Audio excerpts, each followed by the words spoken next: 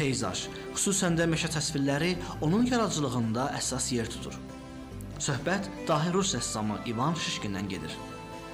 Yaradıcılığına 19-cu əsrin ortaları romantik mənzərə ilə başlayan rəngkarın 1860-cı illərdən başlayaraq işlərində Şam meşəsi mövzuları üstünlük təşkil edib.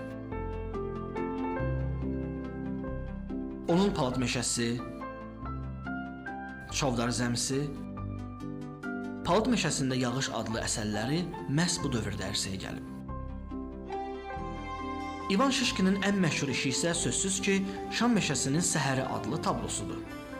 Əsərdə ümumilikdə bir ana, 3 balası olmaqla 4 ayı təsvir olunub.